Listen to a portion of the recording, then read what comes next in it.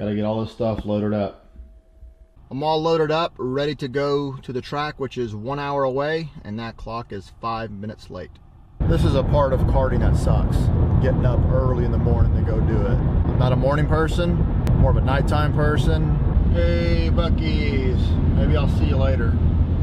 I hope to see you later, at least. Hey, that's Vicent right in front of me. We're gonna be pit partners today. All right, just pulled up. Got to get unloaded, get the uh, pit area set up, and get the kart going. Here we go. I need to get this on the back seat of the kart for my um, transponder.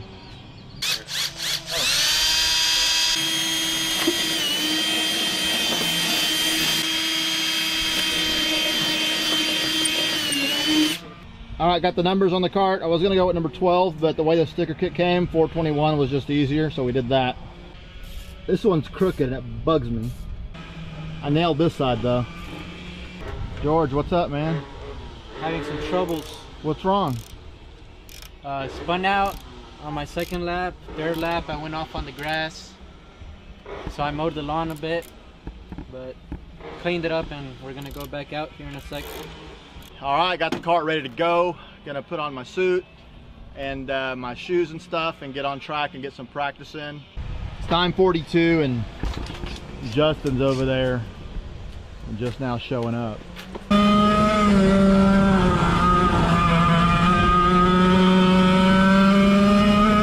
right, so I just got done with practice and I'm still messing with the jetting on the carburetor. I've only driven this kart really one weekend, so I'm trying to get everything adjusted just, you know, the, the way it should be. Um, George has a problem here. Yeah, that, that would put it. Say hello to everyone, Vicent. Hello. What's up, dude? Decided to show up? Yeah, a little late, but you know, put some gas in, crank it, air in the tires, good to go. Here's all the stuff Vicent brought. Justin, what'd you bring? Bang energy. Just like Discount Tire. Yeah. Just as quick. We're gonna do, we'll go with low sugar grape. I've got some Red Bulls, zero sugar, and then if I do well, I get to drink this one, full sugar. My favorite, fruit punch. Hey Martin, so do you have the accent to match the shoes? Sorry. What advice do you have for uh, Justin? Justin, well, he should have an advantage. He's got the uh, KA100, so he's got an extra two horsepower in this race. We'll see. Sounds good, right? That sounds good. yeah, we'll see. We'll see. Hey, so what, what are we doing today? So we're doing a, a front heat and a back heat. So you start one in the front, one in the back. Um, so two mixed heats.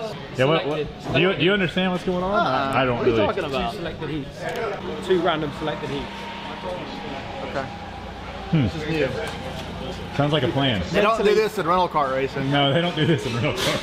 Yeah, yeah, we don't know how to do that. We don't do that in rental cars. right. how do I- Yeah, slow it down. Bring it down slow to down. He's, He's got one more tire left. bring it down to level Oh, two. you had a fan. You've had a fan and you missed him. idea of, of how to do all that uh, as far as the flags on it. Yeah, the main event will be your average of the points for the first two heats. So there's no qualifying. No qualifying. There's no way they could screw this up. Nah.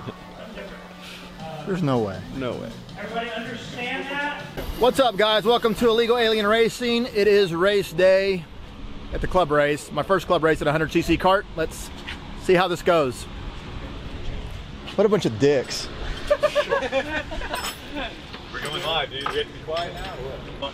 Hey, what's up, everyone? Welcome to Illegal Alien Racing. I'm out at DKC, and this is a club race, my first club race in a 100cc kart. So we'll see how it goes. Why do you sound so tired?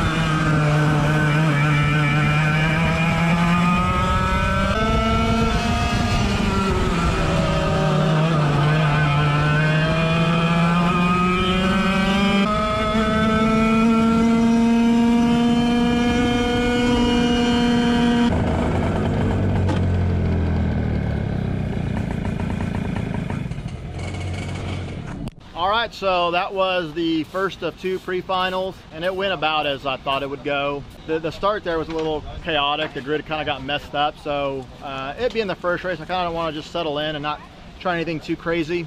The rear end still feels a little loose to me, so what I'm going to do is um, make a minor adjustment and tighten up the rear bumper, and it should tighten up the back end just a little bit, and I'm going to change the air pressure overall, you know, let's have fun. I'm still learning. Let's make some minor adjustments and see how they go. Of course, let's not wreck. Let's stay safe and let's have a lot of fun. That's the goal.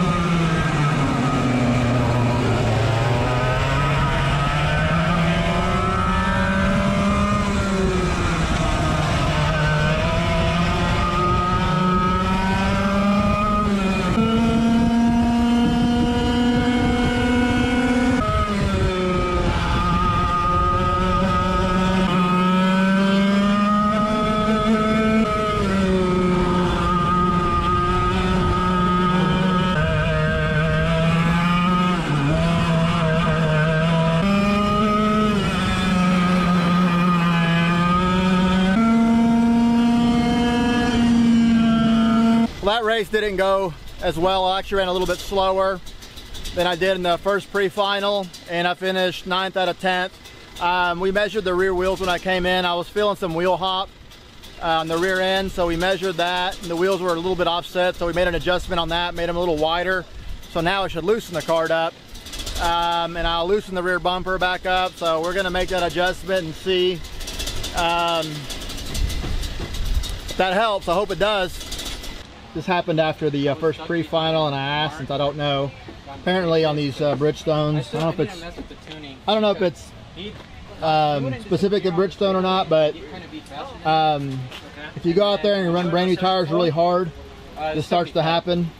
Um, so Martin gave me some advice on how to prevent this from happening in the future, which is because he was with his run a few laps, like three laps, like you know, 50% or whatever, let them cool down and go back out, and you should be fine. Well, I was behind him. And um, let me show you Justin's kart. good lines, but- Justin, this is his right front, had the same issue, uh, but just on a different tire. So now we know what not to do. So we, sh- we should be fine though, and uh, good to go.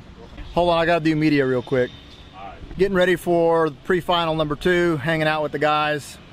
Really not getting much done except burning time. This is what go-kart racing is really like. Just waiting, Just waiting. waiting around. What do you think, Justin? How was your first race in the new car? Spectacular. I didn't wreck.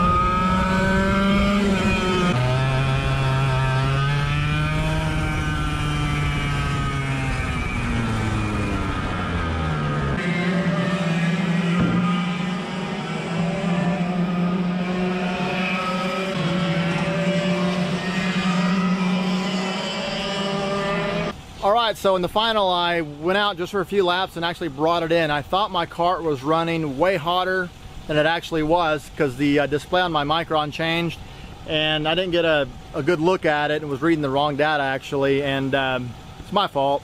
But um, you only get like a few, like a second or whatever to glance at it while it's running at its hottest. So instead of risking blowing the engine up, I thought I'd bring it in, just call it a day and then come to find out the data display was incorrect so I was looking at the wrong stuff. Anyways that's all right. Kind of embarrassing but that's what happened and uh, we'll fix it come back out and do better next time. So anyways thanks for watching. We'll see you next time